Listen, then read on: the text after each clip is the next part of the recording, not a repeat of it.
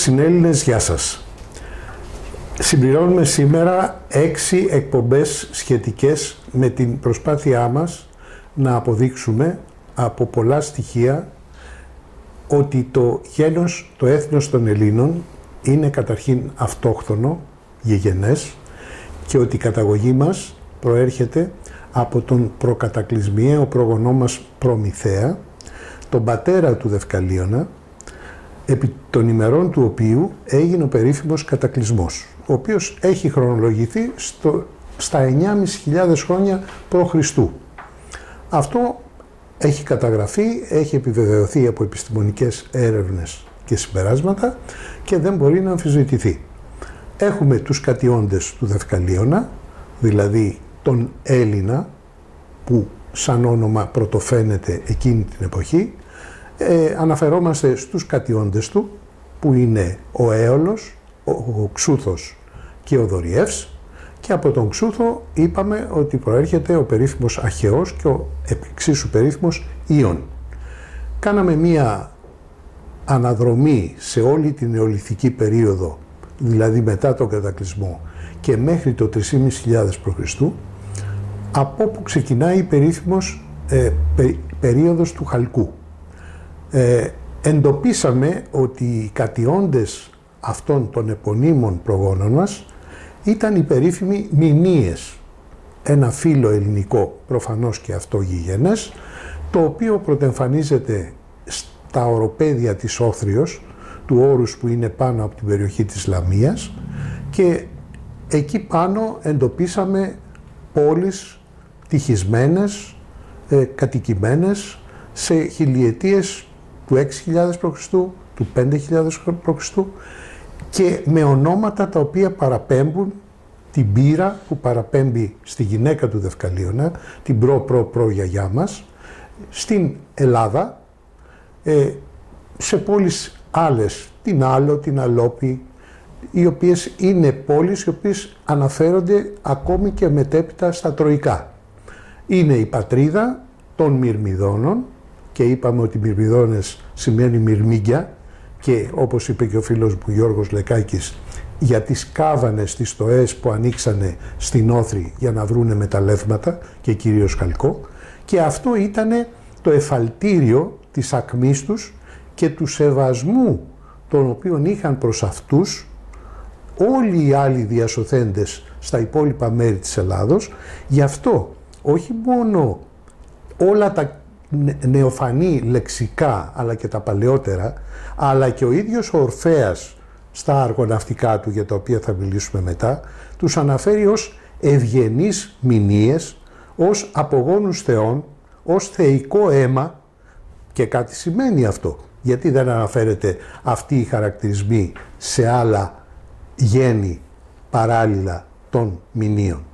Και φτάσαμε λοιπόν κατ' εξέλιξη των μηνύων να διηγούμαστε σήμερα και στα προηγούμενα, στις προηγούμενες εκπομπές την αργοναυτική εκστρατεία η οποία έγινε από το γένος των μηνύων ως επικεφαλής με τον Ιάσονα, τον αρχικαπετάνιο Ινάβαρχο, τον Άργο ο οποίος έφτιαξε την περίφημη Αργό και Αργό σήμαινε ταχυτάτη και απαστράπτουσα κατά αντίθεση με την σημερινή έκφραση και λέγοντας και αντιλέγοντας με τον Γιώργο κάναμε το ταξίδι των αργοναυτών από την Κολχίδα, διαμέσου του Αιγαίου και του σταθμού στα νησιά, μέχρι και την Κολχίδα.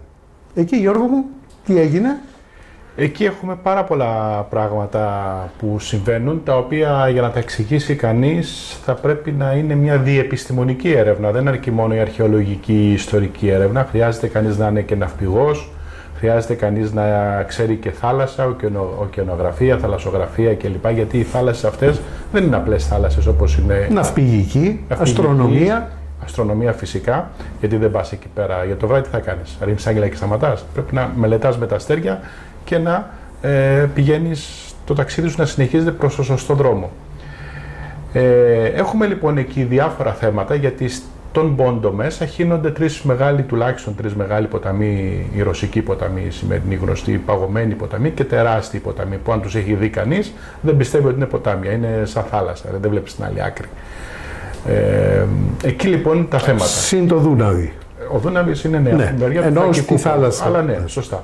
Και είναι παγωμένοι οι ποταμοί. Αυτοί οι ποταμοί που φέρνουν κρύο νερό μέσα στην, ε, στον Πόντο, περνάνε την Προποντίδα. Κάποια στιγμή, όταν σπάνε τα φράγματα εκεί στο Βόσφορο και στην Προποντίδα, χύνονται και στο Αιγαίο και έτσι ανανεώνεται και η θάλασσο ποικιλία του Αιγαίου. Η αποκλειστή λίμνη γίνεται πιο μεγάλη. Και είχες πει το πολύ ευφυές, που εγώ δεν το ήξερα, ότι ονομάστηκε Προποντίδα ακριβώς γιατί αυτοί που το ονόμασαν ανέβαιναν από το Αιγαίο για να μπουν στον Πόντο. Γι' αυτό τη Και βλέπατε. δεν είναι από αλλούς η ονομασία αυτή. Είναι πριν τον Πόντο. Σωστό, όχι, με εντυπωσίασε και όφιλα να το ξαναπώ. Αλλά ίσως ήταν με τα Ποντίδα, αν δεν είχαν ονομάσει άλλοι. Ακριβώς. Έτσι. Λοιπόν, εκεί λοιπόν ε, αντιμετωπίζουν ένα τεράστιο πρόβλημα. Τον ανάπλου αυτών των ποταμών. Όποιος έχει δει ποτάμι ξέρει ότι το πιο δύσκολο πράγμα είναι να κάνεις τον ανάπλου ενός ποταμού. Ακόμα και σήμερα σκάφη με μηχανές και τέτοια πράγματα είναι δύσκολο να κάνει το ποτάμι δεν αστείευεται, το ποτάμι δεν παίζει και φυσικά ας μην έχει κανείς που μας ακούει στο νου του τα ελληνικά μικρά ποταμάκια γιατί ακόμα και ο Αλιάκμονας και ο Αχελός και ο Ποινιός ας πούμε ξέρω εγώ είναι μ, εγγονάκια αυτών των τεράστιων Μπροστά στο Δνήπερο τώρα που λέμε εμείς ότι Βόλος και ανέβηκαν. Δόν και τέτοια πράγματα, ναι, είναι, είναι, είναι, είναι θάλασσες. Ούτε ο Εύρος, ούτε τίποτα. Εκεί λοιπόν υπάρχει ένα μεγάλο περίεργο. Πώς θα κάνεις τον ανάπλο αυτών των ποταμών; Λογικά με κουπιά. Τα πανιά δεν σου χρειάζονται φυσικά γιατί το, ρεύμα έρχεται, ο αε- το αέρινο ρεύμα έρχεται ανάποδα. Οπότε η στία δεν μπορείς να χρησιμοποιήσεις. Και Και όχι πρέπει να- μόνο αυτό, α, μου επιτρέπεις το ρεύμα του ποταμού συνοδεύεται και από ρεύμα αέρος. Αυτό είπα. Το ρεύμα, το ακριβώς. αέρινο ρεύμα δεν μπορείς να ανοίξεις πανιά λοιπόν εκεί πέρα. Σωστό. Να μην σου πω ότι πρέπει να κατεβάσεις και τα κατάρτια, γιατί ακόμα και αυτή η ελάχιστη αντίσταση είναι, Δυσκολεύει. είναι, είναι πρόβλημα. Και πρέπει φυσικά να έχεις πολύ καλούς γυμνασμένους κοπηλάτες, παλικάρια, να έχουν, να έχουν γίνει αυτά τα πειράματα. Δεν μπορεί να τα δοκιμάζει εκείνη τη στιγμή. Οι ασκήσεις αυτές πρέπει να έχουν γίνει και έχουν γίνει στην Ιολκό ή όπου αλλού. Αλλά πάση περιπτώσει πρέπει να έχουν γίνει, δεν τα δοκιμάζουν εκείνη τη στιγμή για να ανέβουν, τα, να αρχίζουν να ανεβαίνουν τα ποτάμια ε, προς τον βορρά και χρησιμοποιώντας ποτάμιες οδούς ανέβαιναν προς τα πάνω, θεωρητικά να καταλάβει κανείς από την ε, νότια σημερινή Ρωσία, η Χερσόνησο της Ταυρίδας, το σημερινή Κρυμαία, ε, τα ποτάμια ανεβαίνουν προς τα πάνω και όπου Μάλλον έρχονται από πάνω προς τα κάτω. Η δική μας, η Ναι, ναυτική ε, μας. λέω τα ποτάμια Τα έρχονται. ποτάμια εμείς, έρχονται, εμείς πάμε. Εμείς πάμε προς τα πάνω, ναι. Σωστά. Αλλά σε κάποια σημεία που θέλουν να πάρουν το άλλο ποτάμι, γιατί τα ποτάμια δεν ενώνονται και δεν ενώνονταν. Τουλάχιστον σήμερα μπορεί να ενώνονται με κάποια κανάλια κάποια από αυτά, τότε μάλλον δεν θα πρέπει να. Υπάρχει ένα μυστικό ανάμεσα στο Δνήπερο που κατεβαίνει προς τη Μαύρη Θάλασσα και το Βιστούλα τον οποίο παίρνουν μετά για να βγουν στη Βαλτική υπάρχει μια περιοχή η οποία και σήμερα ονομάζεται με το ίδιο όνομα η οποία είναι ελώδης. Ε, Έλλη, έλλη, Τα Έλλη Πριπέτ, τα πριπέτ. τα οποία στο δεύτερο παγκόσμιο πόλεμο δυσκολέψαν πάρα πολύ τα τεθρακισμένα του Χίτλερ. Φαντάσου λοιπόν. Εκεί πάθανε μεγάλη ζημιά. Ε, εν πάση περιπτώσει, σε αυτά τα έλλη τα αβαθή πρέπει να τους χρησιμεύσαν είτε να σπρώξουν το καράβι ή, ή τα καράβια που είχαμε πει ότι μπορεί να ήταν περισσότερα ή εν πάση περιπτώσει να τα λύσουν και να τα δέσουν Ακριβώς. παρακάτω Εδώ είναι, εδώ είναι μέχρι δι- να βρουν το βιστούλα. Ναι, εδώ είναι δύο τεχνικές λοιπόν που τις έχουν ξανακάνει οι Έλληνες. Δεν είναι πρώτη φορά, το αντιμετωπίζουν και στη Μασαλία αυτό. Όταν κατεβαίνουν και παίρνουν το Ροδανό ανάποδα, ε, έτσι τον ποταμό. Μεταγενέστερα αυτό. Ναι, μεταγενέστερα, όταν θέλουν να φτάσουν προς το Παρίσι, ακόμα να βγουν και στη μάχη. Στη μάχη. Έτσι, ε, γιατί απ' έξω έχει πειρατές. Είναι πολύ επίφοβο. Οι, φι- οι φοινίκες. Ναι, οι όποιοι. Οι όποιοι και, φοινίκες. άλλοι. Και άλλοι. Αν και εκείνη την εποχή που μιλάμε δεν υπήρχαν δεν φοινίκες. Ναι. Οι, τουλάχιστον Ντόπιοι. οι συμμετοφίνικες. Ντόπιοι, ναι, ντόπιοι ξέρουμε. Αλλά πειρατές, ε, το πρόβλημα είναι λοιπόν ότι θέλουν να αποφύγουν, να μην κάνουν πολύ μεγάλο ταξίδι στη θάλασσα, να μην εκτίθενται, να αποφύγουν πειρατές όσους μπορούν και με ναυστάθμους να μπορούν να πάνε από το ένα σημείο στο άλλο. Λοιπόν, υπάρχουν δύο εκδοχές. Ή φτιάχνουν, έχουν φτιάξει κανάλια, είτε με ξύλα είτε με πέτρες, Διόλκους. ναι, όπου ε, φτάνουν σε ένα σημείο, το ξέρουν, εκεί υπάρχει ένας μικρός ναύσταθμο, κάποιοι τους βοηθούν, περνάνε τα πλοία μέσα από εκεί, τα σπρώχνουν, τα πηγαίνουν στο άλλο ποτάμι και συνεχίζουν, έτσι κάνουν και εκεί, ή λύνουν τα πλοία, υπάρχει και αυτή η μελέτη, τα ξύλα κανονικά. Και τα παίρνουν στην πλάτη ξύλο-ξύλο και προχωράνε με Κομμάτια μάλλον. ναι, Μπήματα. κομμάτια, ναι. Και πάνε κάποια χιλιόμετρα παρακάτω να συναντήσουν τον άλλον άτομο που το ξαναπεριμένουν εκεί πέρα να ξαναδέσουν το πλοίο να το ξανασυναρμολογήσουν και να φύγει από το άλλο ποτάμι.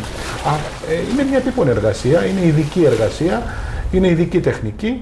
Υπάρχει όμως καταγραμμένη και στα νεότερα χρόνια, δηλαδή ε, τα κλασικά χρόνια που το κάνανε και οι Φωκαείς ε, προς τη Μασαλία. Άρα λοιπόν ξέρουμε περίπου πώς σκέφτονταν.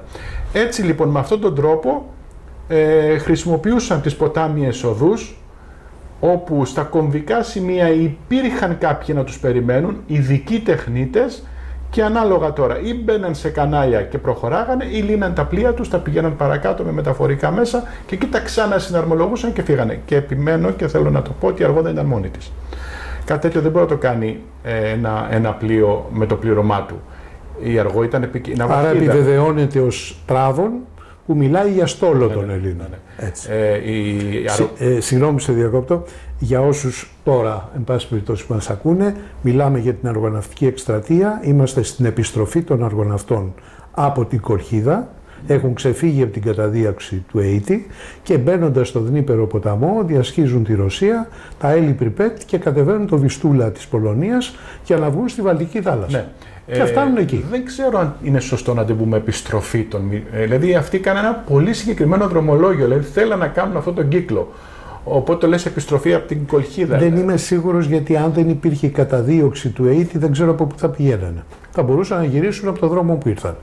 Το ότι αναγκάζονται να μπουν κάπου αλλού, ναι. αυτό τους υποχρεώνει να ψάξουν δρόμους, να ανακαλύψουν. Ναι, εγώ είτε έτσι είτε αλλιώς όμως έτσι αναφέρεται από τον Ορφέα ναι. στα αργοναυτικά του ότι έγινε έτσι η επιστροφή. Επίσης να πω άλλη μια εκδοχή για να το κλείσουμε. Ε, πιστεύω ότι ήταν πολύ προσχεδιασμένη, καλά σχεδιασμένη και αυτό με τον ΕΙΤ ίσως να ήταν και πρόσχημα για να κάνουν το, το, εμπορικό αυτό ταξίδι για να δουν νέες γέες για, να, για προσπορισμό. Απλώς γίνεται πιο συναρπαστικό. Γίνεται πιο συναρπαστικό ο μύθος. Έτσι. έτσι. Μύθος εννοώ την ιστορία μας, την παλιά μας ιστορία. Υπάρχει και η εκδοχή να φεύγουν μέσα από το Δούναμπι στην, στην Το καταγράφω στο βιβλίο ναι, μου ξέρω.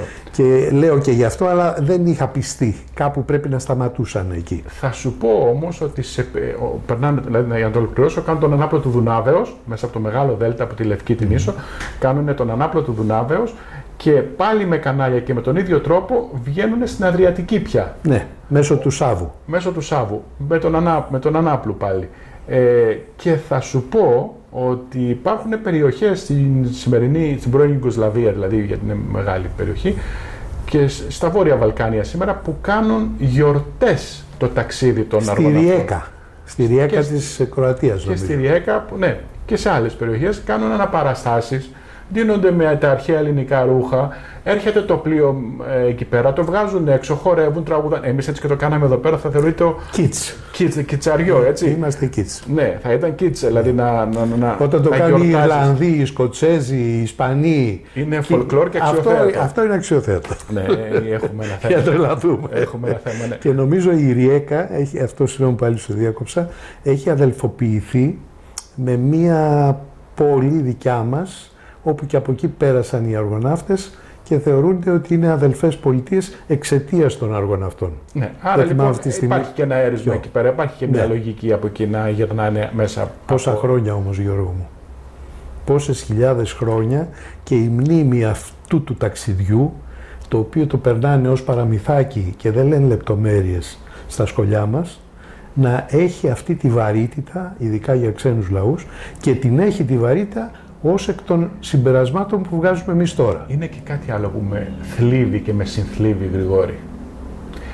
Ότι το λένε παραμύθι, το λένε μύθο με την έννοια του παραμυθιού, ενώ είναι δύο διαφορετικές λέξεις, και είναι και κάτι ακόμα. Το ότι όπως ο Όμηρος θέλανε 20-25 πόλεις να τον διεκδικήσουν, χαίρονταν και καυχόνταν ότι μπορεί, ίσως μπορεί να είναι και από εμά, έτσι καυχόνται οι κεντροβαλκάνοι, οι βορειοβαλκάνοι και οι βορειοευρωπαίοι ότι πέρασαν από εδώ οι αργοναύτες και εμείς δεν έχουμε εδώ πέρα από, τα, από, από κάθε πολιτεία που ένας από αυτούς πήγε εκεί πέρα ένα μνημείο. Θα σου πω στην πορεία για κάποιον πολύ διάσημο σημερινό που σύμφωνα με αυτά που θα πούμε μπορεί να είναι απόγονος των αργοναυτών. Ωραία. Θα γελάσουμε. Λοιπόν, κατά αυτόν τον τρόπο φτάνουν πάνω και βγαίνουν στη Βόρεια Θάλασσα. Στη Βαλτική. Ναι, στη Βαλτική. Με αυτόν τον τρόπο ε, που σου λέω.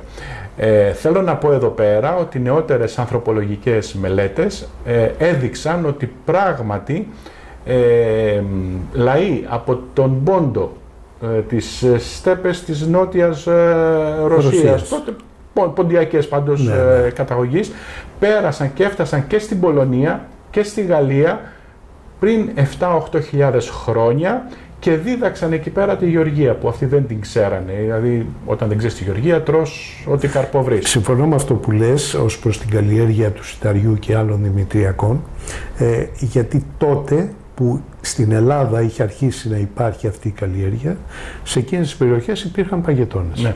και οι όποιοι κάτοικοι δεν ήταν δυνατόν να ξέρουν.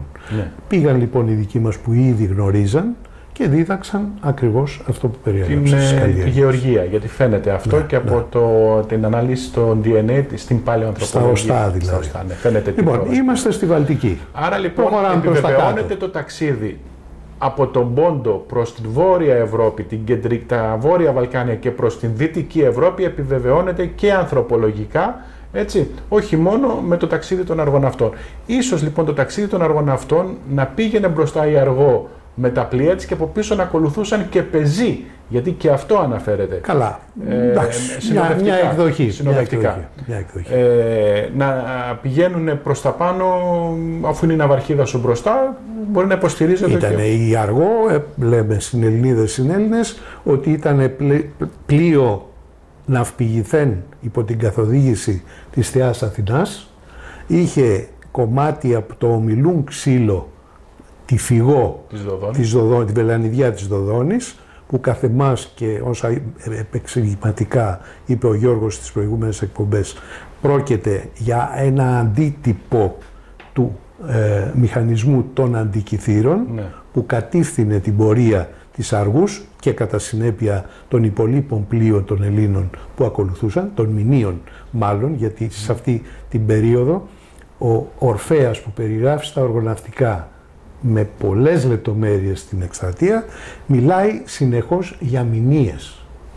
Τους αποκαλεί όλους οι leader μηνύες. Είναι μια επιβεβαίωση αυτού που είπαμε ότι αυτή είναι η πρώτη επίσημη ευγενής πρόγονή μας Έλληνες. Ε, και θα σου πω και το εξής, ότι οι εξορίξεις των, των ρωσικών εδαφών με τα σημεία και όλα αυτά που έχουν τα ρωσικά εδάφη, ε, όλα αυτά μπορεί να ξεκίνησαν από τότε, γιατί να ήταν και μια αναζήτηση ασημιού Αν μεταφέρανε τις γνώσεις που Τεχνογνωσία. αποκτήσανε κλπ, τα επόμενα ταξίδια είχαν αυτό το στόχο. Γιατί- Έτσι εξηγούνται και η σειρά των απικιών γύρω από τον Πόντο. γύρω από τον Πόντο. Ναι. Εκατοντάδες Που πρέπει, απικίες που γίνανε μετέπειτα. που πρέπει να πούμε εδώ μια, καλά, μια και σωστά το ανέφερες ότι μέχρι πριν λίγα χρόνια λέγαμε ότι η πρώτη απικία στον Πόντο ελληνική ήταν περίπου τον 8ο αιώνα π.Χ. Ε, Συνόπη και λοιπά στο νότιο Πόντο από τη Μίλητο ε, προχωρήσαν οι έρευνες, φτάσαμε στο, στο 10 Στη Χερσόνα, στην Κρυμαία, Ναι, ναι, 10ο στο αιώνα Βαστούπολη π.Χ. και κλπ. αυτή τη στιγμή συζητάμε για ελληνικές απικίες σε όλη την έκταση του πόντου, δηλαδή βόρειο πόντο, ρωσικό πόντο, θρακικό πόντο και τον ε, πόντο τον ανατολικό, 14ο αιώνα π.Χ. Προς τιμήν του, ο Βλαντιμίρ Πούτιν σε πρόσφατη συνέντευξή του τα συνομολόγησε αυτά. Ναι. Κατά αντίθεση προς τον Και είπε- Ερντογάν που λέει ότι αυτά ήταν τουρκικά. Και είπε, αν, αν κάποιοι έχουν δικαιώματα στην την Κρυμαία, έτσι όπως Αυτοί την είναι οι αποκάλυψε, Έλληνες. αυτοί είναι οι Έλληνες. Αυτοί είναι ναι. οι Έλληνες. Αυτοί είναι οι Έλληνες. Είμαστε λοιπόν στο, στη Βαλτική θάλασσα και ο στόλος των αργοναυτών καθημάς ξεκινάει τώρα και έχοντας αριστερά του τις ακτές της Πολωνίας, της Βόρειας Γερμανίας, τη Δανία, Σκανδιναβία. στρίβουνε, Ναι.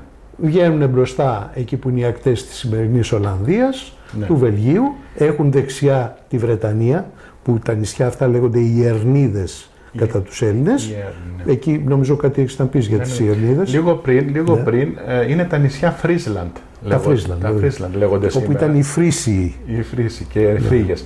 Ε, βάλει από τον βόρειο πόντο το δικό μας έτσι πόντο, από τους Φρύγες. Είχαν, ε, δηλαδή ήταν μια... Τους βρύγες της Κατερίνης. Ναι, της ε, Αυτοί πήγαν Μακεδονίας εκεί. μας. Της Εξού και οι Μπρίζ που Ναι. έχουμε πει. της Μακεδονίας μας. Αυτοί φύγαν Ναι, από ναι, την ναι. κεντρική, κεντρικό-δυτική Μακεδονία, πήγανε... πε- Αξιό. Πήγαν αξιό, βγήκαν απέναντι στην Βρύνο, Σάβο, Φρυγία Δούναβη λοιπά, και ναι. πάει λέγοντας. Και από εκεί ήταν άλλο ταξίδι αυτό.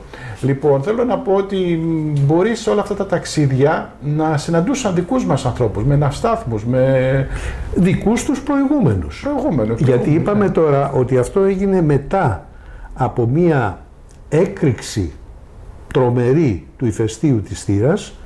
Εξαιτίας της καταστροφής χαθήκανε οι σχέσεις στα δρομολόγια Και οι πόροι, και οι κλπ. πόροι, και οι πόροι. Και αυτή ήταν η αιτία της οργανωτικής Ήταν εκστρατείας. αναζήτηση πόρων. Αναζήτηση των πόρων, των χαμένων πόρων. Άμα, άμα, πρέπει Ε, να α- βρεις και αλλά λόγους. για να το επιταχύνουμε. Έχεις να πεις κάτι για τις Όχι, αυτό, Ιαρνίδες. αυτό για τα Φρίσλαντ, τα νησάκια, όπου Ωραία. πραγματικά στα νησάκια αυτά έχουν βρεθεί μηνοϊκοί που τους λένε ναυστάθμοι. να- ε, ναύσταθμοι. Ίχνη ναυστάθμων. Ναι, όπου Μάλιστα. α, πηγαίνανε στην ε, νο- σημερινή Νορβηγία να πάρουν ασήμι.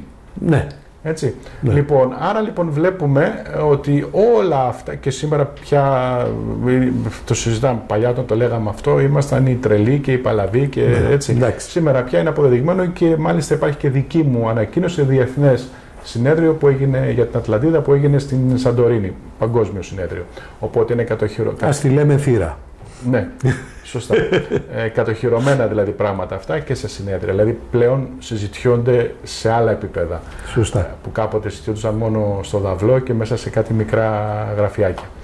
Έτσι λοιπόν φτάνουν στον Ατλαντικό εκεί πέρα και συναντάνε μπροστά τους έχουν τώρα την, τα Βρετανικά νησιά. Στρίβοντας αριστερά, γιατί δεν νομίζω εγώ τουλάχιστον, δεν ξέρω εσύ αν έχεις άλλη άποψη, ότι εκεί υπήρχε χρόνος να εξερευνηθεί και να γίνει ο περίπλους των Βρετανικών νησιών. Έγινε και αυτό και έχουμε και ίχνη, αλλά νομίζω ότι πρέπει να είναι μεταγενέστερο.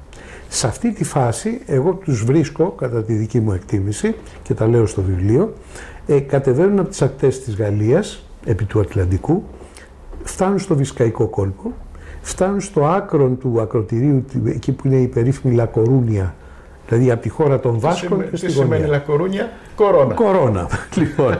είναι και το άκρον εκεί. Είναι Και ποιο είναι το ακριβώς. έμβλημά της, Ναι. ο Ηρακλής. Ο Ηρακλής. Και ένας Είναι φάρος είναι φοβερό. που, είναι φοβερό. ένας φάρος που είσαι εκεί πέρα Ναι. επάνω, μεγάλος, όταν ήρθε από τα βόδια του Γυριώνη. Δηλαδή, πού και πού θα Απίστευτο. πας και δεν θα συναντήσεις ελληνικά πράγματα. και το έχουν στο έμβλημα της πόλης.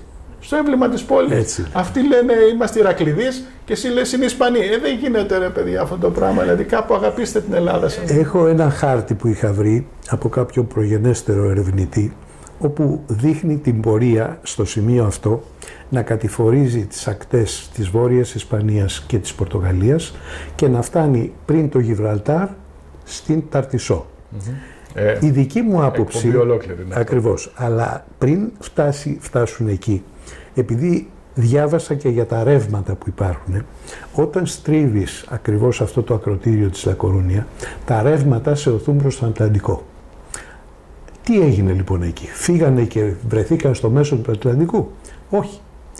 Υπάρχει το συγκρότημα το- των αζωρών νήσων, τα οποία απέχουν γύρω στα 200-250 χιλιόμετρα από τις ακτές της Πορτογαλίας, είναι πορτογαλέζικα.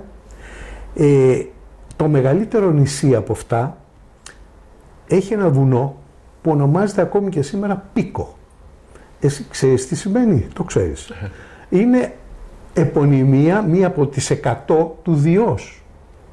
Δηλαδή οι- οι αρχαίοι Έλληνες πανάρχαιοι ονομάζαν το Δία και Πίκο. Τι σήμαινε; Κορυφαίος. Κορυφαίος. Εξ ου και το αγγλικό peak, Κορυφή. που είναι κορφή. Ε, πώς ταιριάζει; Υπάρχει μια ακτή που λέει άγκρα του ερωίσμου. Τα άκρα του ηρωισμού. Αν αυτή η έκφραση Δηλαδή, δεν ως, είναι ε, ελληνισ- ως- ελληνική, θα τρελαθούμε όλοι. Όσο εδώ πέρα Ως φτάσαμε, εδώ. ήταν το όριο Ναι. του ηρωισμού. Αλλά εκείνο που έχει σημασία, Γιώργο μου, είναι ότι ψάχνοντας τα λεξικά δεν υπάρχει ρίζα του ονόματος τους σ- νησιωτικού αυτού συμπλέγματος. Δηλαδή η λέξη αζ, αζόρες δεν βγαίνει από πουθενά. Έλα όμως που, όπως εμείς είπαμε στις εκπομπές τις προηγούμενες, οι αργοναύτες πλέον δεν έχουν τον τύφη, τον πρώτο πλοηγό. Έχει πεθάνει. Έχει πεθάνει. Ο ένας από τους δύο που εναπέμειναν είναι ο Άζωρος. Ο Άζωρος.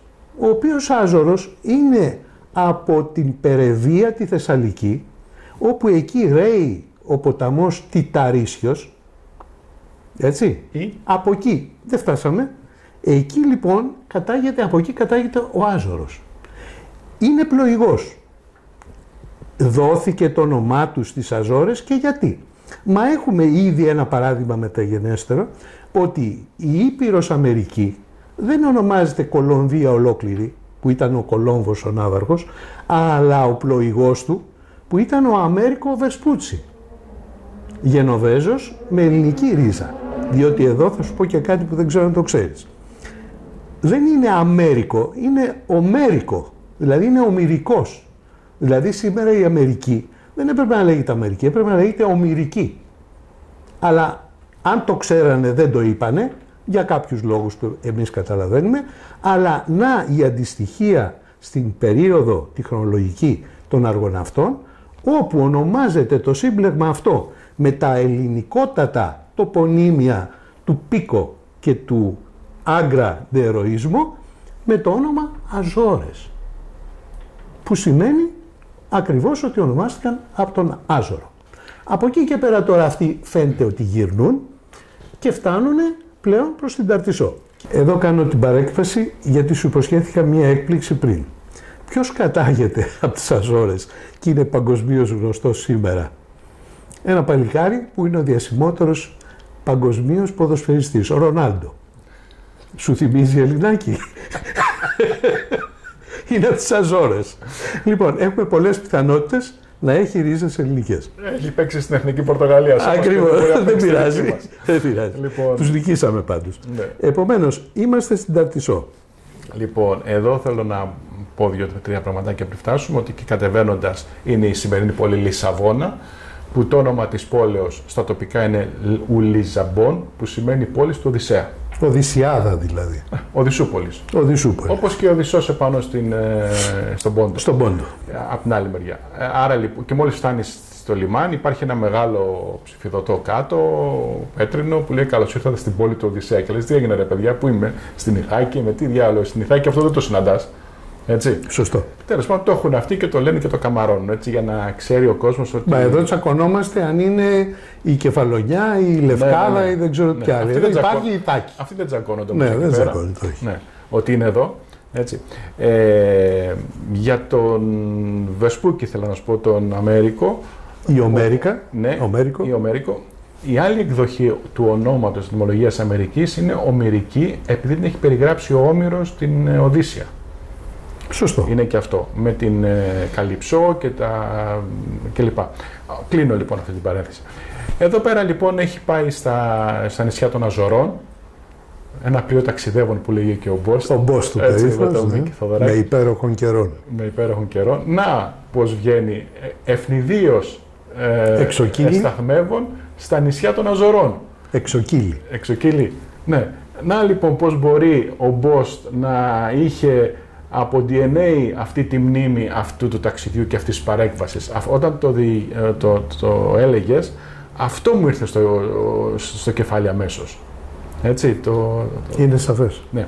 Πιο κάτω βέβαια έχουμε τα Κανάρια νησιά που είναι τα Κινάρια νησιά.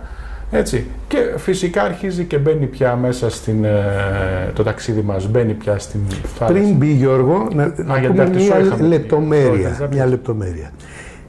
Αναφέρεται στα αργοναυτικά ότι βασιλής της Ταρτισού είναι ο Αλκίνος και η αριτη Πού τους ξαναβρίσκουμε. Σφαίακες. Στον Όμηρο, στην Οδύσσια, όπου υποδέχεται η κόρη τους η Ναυσικά τον οδυσσεα Υπάρχουν και τότε, αλλά γυραλέοι πια. Ναι. Που Για- σημαίνει ότι σε αυτή τη γενιά που χωρίς να πάψει να υπάρχει ε, το ίδιο ζευγάρι βασιλέων της Ταρτισού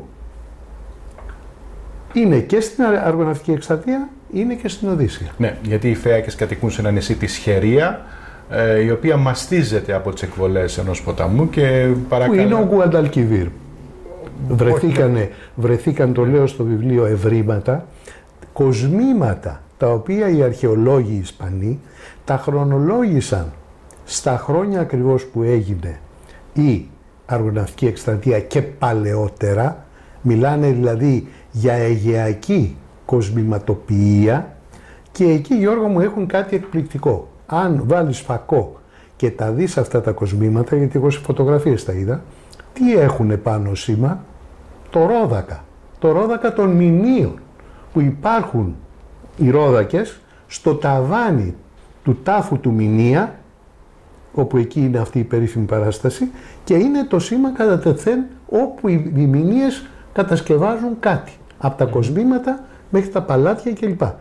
Ξέρεις που θα τα βρούμε; Στη Μάλτα για την οποία θα μιλήσεις εσύ τώρα. Η Σχερία είναι ένα νησί που παρακαλάνε και λένε ότι τη Δήμητρα λένε σε παρακαλώ ε, κάνε κάτι γιατί σε λίγο οι εκβολές του ποταμού θα μας πνίξουν και φαίνεται ότι έγινε πράγματι αυτή Και η καταστροφή. ενώθηκε το νησί με την ή ξηρά. ενώθηκε ή καταποντίστηκε έτσι και αναγκάστηκαν να λάσπη. φύγουν ναι, ή- Ναι. ναι, ή- και αναγκάστηκαν να φύγουν να πάνε απέναντι στην Ταρτισό όπου η Ταρτισός έχει και άλλα πολλά παράξενα και προβλήματα και ενίγματα και το πρώτον και βασικότερον είναι μην είναι ό,τι απέμεινε από την Ατλαντίδα ή από Μινάρια Ατλαντίδος. Θα το δεχτώ Ε, με την έννοια ότι με καταποντίστηκε ερωτηματικά, αλλά το δέχομαι. Αποντίστηκε κάπου σαν εκεί η υπόθεση. Ατλαντίδα και ό,τι σώθηκε πήγε εκεί πέρα.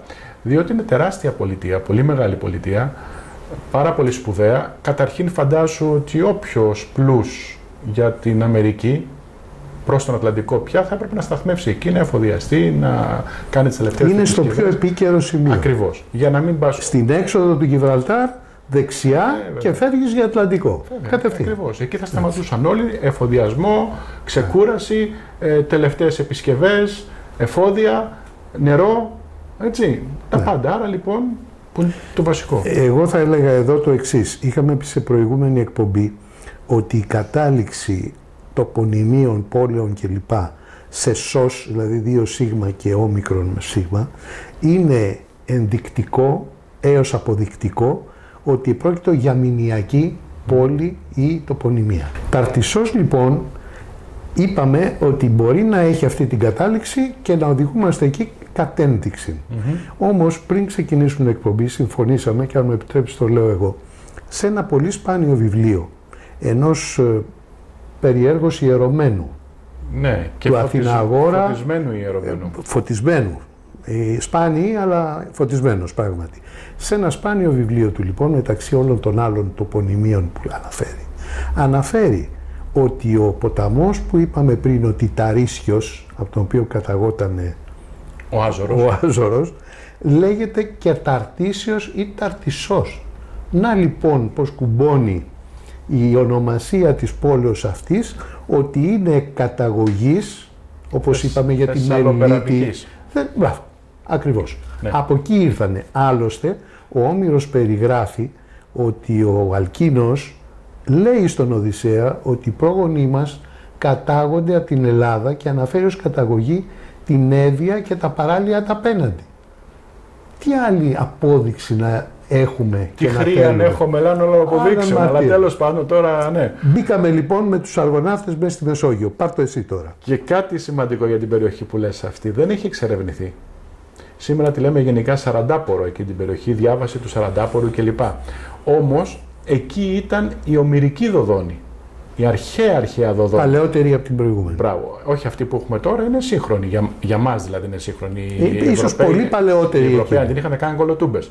Αλλά για μας είναι χθεσινή. Την έκανε ο Πύρος κλπ. κλπ. Μεταφέρθηκε δηλαδή, κατέπεσε το μαντίον της αρχαίας Δοδόνης που ήταν στον Τιταρίσιο ποταμό επάνω, γι' αυτό και τη λέει και δυσχήμερον. Ναι.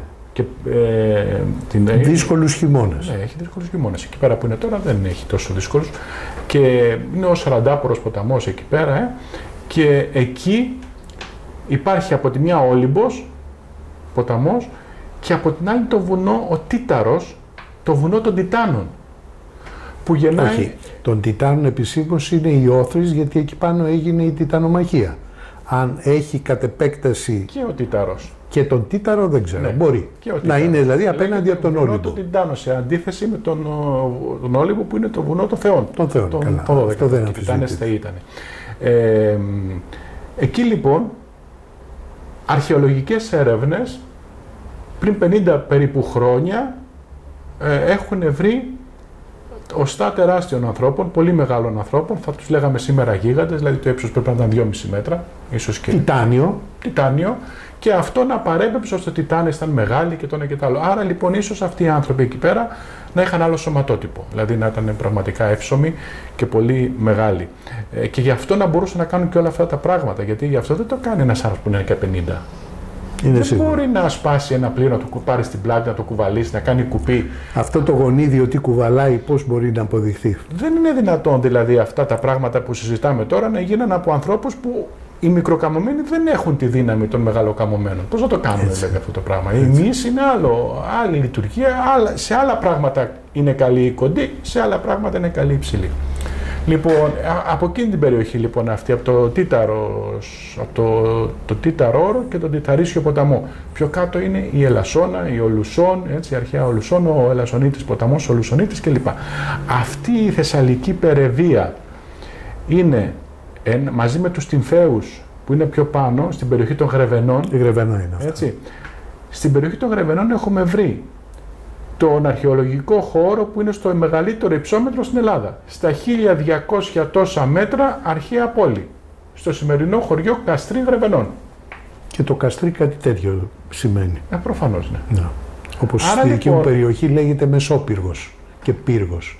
Παραπέμποντας σε αρχαία ερήπια Κάτι ήταν τέτοιων εκεί. κατασκευών. Ναι. Άρα, Στην λοιπόν, κοιλάδα του Αχελό. Ποιοι άνθρωποι μπορούν στα 1200 τόσα μέτρα να πάνε να χτίσουν, όχι μια, μια προσωρινή κατοικία να μείνουν να, να Αλλά περάσουν. Ακρόπολη. Πόλη. Πόλη, οικισμόνα, ζουν εκεί. Άρα λοιπόν βλέπουμε για ανθρώπους που ήταν ικανοί για μεγαλύτερα πράγματα. Για περισσότερα πράγματα, για σπουδαιότερα Έχουν πράγματα. γίνει ανασκαφές με Ναι, ναι, ναι, ευρήματα. κανονικά επίσημα στο Καστρί Γρεβενών ε, Μάλιστα. και έχει ανακοινωθεί επίσημα. Θα, οι φωτογραφίες τα βλέπουμε κιόλας τώρα που μιλάμε. Λοιπόν, ε, και μπαίνουν μέσα πια σε μια θάλασσα Οι που αργοναύτες στη Μεσόγειο. δεν τους ενδιαφέρει καθόλου. Πια λένε εντάξει φτάνουμε τώρα. Το ξέρουμε το μέρος. Πατήσια φτάσαμε σε που ξέρεις. Ε, εντάξει, τι είναι αυτό τώρα. Από εκεί και πέρα μπαίνουν στη δικιά μας θάλασσα, στην γνωστή μας θάλασσα, Υποθέτω Βελεαρίδες, λογικό. ε, οι οποίες λέγονταν γυμνησίες νήσι. Μάλιστα, να το και αυτό. Ζέστη, ωραία πράγματα, γυμνοί όλοι, ξάφρας Ναι, ναι. παραλίες, έτσι, γυμνησίες νήσι. Από πάνω το Σεντροπέ. Φαίνεται από εκεί πήγαν. Η περίφημη Μπριζίτ Μπαρντό, εκεί κολύμπησε γυμνή για πρώτη φορά και έγινε χαμός. Πού να το ξέρουν οι αργοναύτες τότε. Άργησε Εν πάση λίγο. περιπτώσει. Άργησε λίγο η Μπριζίτ. Τα Ναι, παλικάρια ναι. έχουν περάσει χρόνια. Μπορεί να έχει και αυτή κάποιο γονίδιο, δεν ξέρουμε.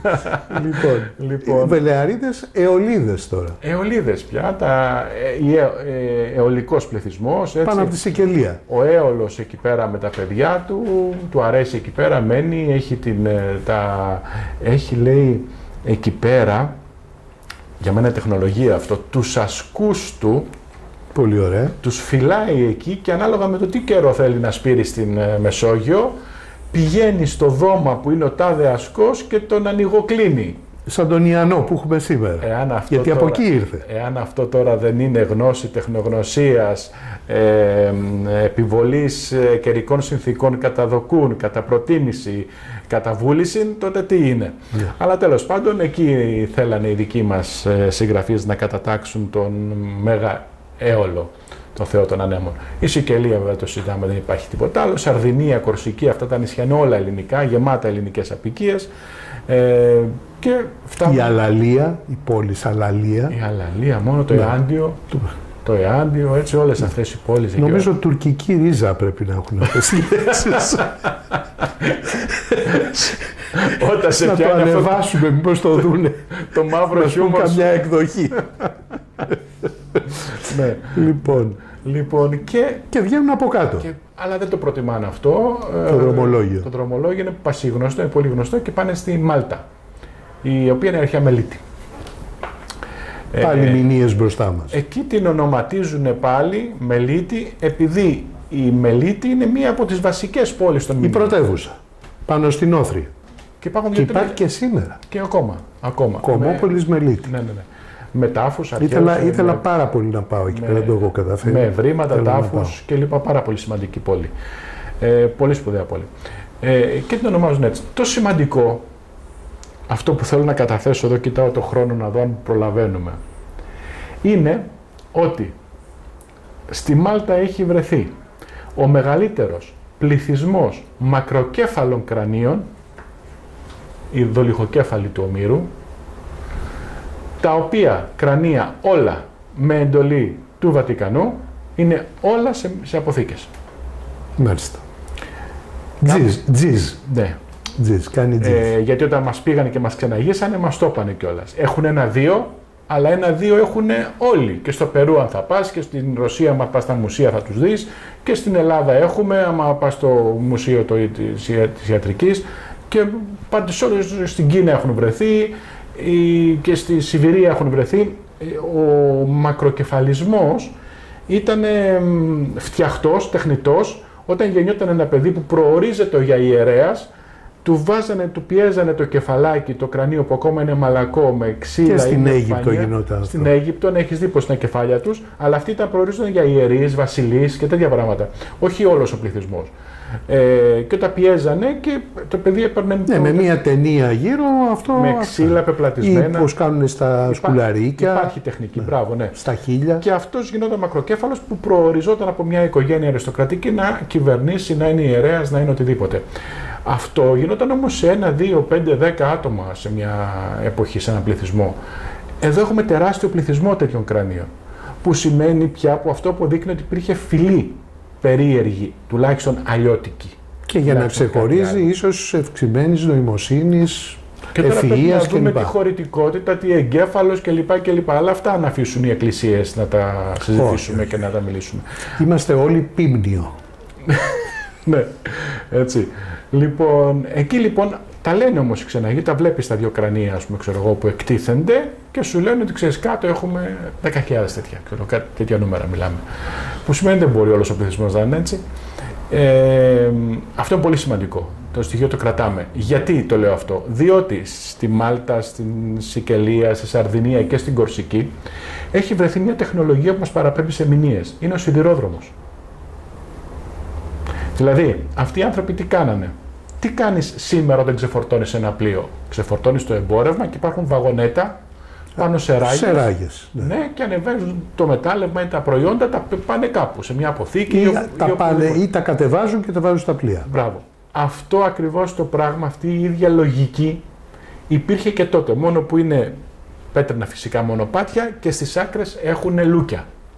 Μάλιστα. Που σημαίνει ότι έμπαινε το κάρο μέσα σε αυτά και πήγαινε σε ένα συγκεκριμένο ε, Για να διευκολύνεται. μέρος. Να διευκολύνεται, εκεί να μην πηγαίνουν άλλοι. Ε, άρα λοιπόν η λογική του σιδηροδρόμου τη βρίσκουμε εκεί για να φορτω, εκφορτώνουν ε, τα πλοία. Άρα λοιπόν καταλαβαίνουμε ότι η Μάλτα, η αρχαία Μελίτη, δεν είναι ένα απλό μέρος στη Μεσόγειο. Είναι κομβικό. Ναι, βέβαια, άμα είσαι λίγο μπουνταλάς και βάλεις τη γομολάστιχα πάνω στο χάρτη, λες Μαλταγιόκ. Έτσι, Ναι, μεταγενέστερο αλλά χαρακτηριστικό. έτσι ναι, να σου πω χαρακτηριστικό. μία παρατήρηση. Το διπλανόνισι της Μάλτας που υπάγεται στην διοικητική περιφέρεια είναι το Γκόζο. Γκόζο. Έχω πάει. Αυτό ονομαζόντουσαν τζιγκάντι. Οι Γίγαντες. γίγαντες. Οι γίγαντες. Να λοιπόν πώς Οι έρχονται. δολυχοκέφαλοι οι γίγοντες. δολοφοκέφαλοι πώς έρχονται ή οι γίγαντες του Ταρτισού, Της Ταρτισού, Τιταρίσου, ή οι ακριβώς. γίγαντες αργοναύτες. Υπάρχει περιπτώσει κάποιοι γίγαντες όμως, εν πάση πάση περιπτώσει. Σου συμπληρώνω ότι πριν 1,5 χρόνο μία από τις συνεργάτηδές μου πήγε ταξίδι στη Μάλτα εκδρομικό. Την παρακάλεσα να πάει στο αρχαιολογικό μουσείο για να μου φέρει ένα προσπέκτους. Μου το έφερε το κορίτσι και ξεφυλίζοντάς του βρήκα και εκεί ευρήματα που οι Μαλτέζοι ε, αρχαιολόγοι Αρχαιολόγοι. χαρακτηρίζουν ότι είναι χρονολογικά στην νεολιθική εποχή, αλλά τι βρήκαμε, πάλι το ρόδακα των μηνύων χαραγμένο στα ευρήματα αυτά. Ναι, εγώ Η δεν, σφραγίδα. εγώ δεν μπορώ να καταλάβω πώς εμείς όπου πάμε, δηλαδή εννοώ οι δικοί, άνθρωποι της δικής μας σκέψεως, βλέπουν τα ελληνικά όπου πάνε, τα βλέπουν, λέω ρε παιδί μου αυτό το έχω στη Θεσσαλία, αυτό το έχω στην Ήπειρο, αυτό το έχω στη Μακεδονία, αυτό το έχω Ναι. στην Πελοπόννησο, στην Κρήτη και δεν τα βλέπουν οι αρχαιολόγοι δικοί μας. Συνελληνίδες, συνέλληνες, φτάσαμε στο τέλος της 7ης εκπομπής. Εάν σας άρεσε, να περιμένετε άμεσα και την 8η. Ευχαριστούμε πάρα πολύ.